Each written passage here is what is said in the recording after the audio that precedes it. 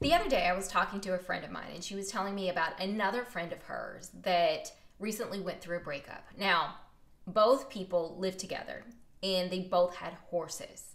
And the woman's big complaint was that the man never took care of his horses.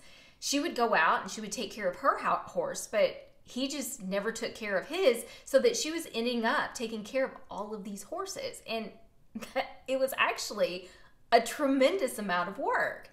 And my friend said, Can you believe that? You know, as girls do. And I said, Yeah, actually, I can. And, you know, this is an area that I have had to work on a lot in my life because we do teach people how to treat us. And my friend said, Well, if that's the case, you know, where did she go wrong? And I said, You know what? I bet early on in the relationship, she probably said something like, Hey, I'm going to go out here and take care of my horse. Why don't I just take care of yours too?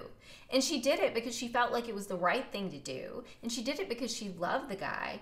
And she did it because as women, we want to give and nurture. And that's just kind of what we do. But the mistake that I think she made, and I often make myself, is that we do these things out of the goodness of our heart, but we don't ask for anything in return. And what that tells the other person is then that we are someone that they can take from and not somebody that they can be they can respect.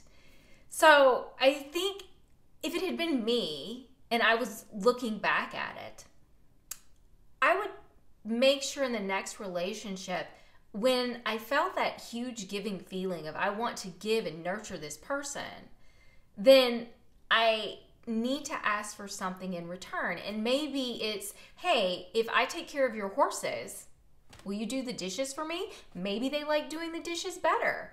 And I think that that is a better way to be able to develop a partnership in your relationship and not have somebody treat you like a doormat.